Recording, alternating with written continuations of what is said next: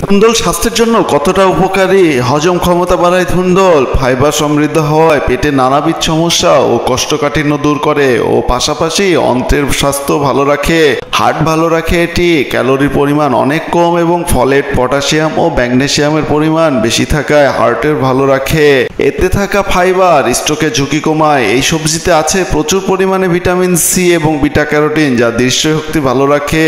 এই সবজি ক্যান্সার প্রতিরোধ করে। এতে রয়েছে প্রচুর পরিমাণে বিটা ক্যারোটিন এবং ভিটামিন সি যা ক্যান্সারের জীবাণু থেকে শরীরকে রক্ষা করে এবং রোগ প্রতিরোধ ক্ষমতা বাড়ায়। মাথার চুলের বৃদ্ধিতে সাহায্য করে। ধুন্দলে থাকা ভিটামিন বি দুই, ভিটামিন সি এবং জিঙ্ক মাথার চুলের বৃদ্ধিতে ও চুলের গোড়া শক্ত করে। এছাড়া শুষ্ক, রুক্ষ চুল ও খুশকি দূর করে। ভিডিওটি শেয়ার, লাইক এবং কমেন্ট করে আপনার মতামত জানাতে পারেন। অনেক রোগ থেকে রক্ষা করতে সক্ষম, তবে এটি কোনো রোগের নিরাময় হতে পারে না।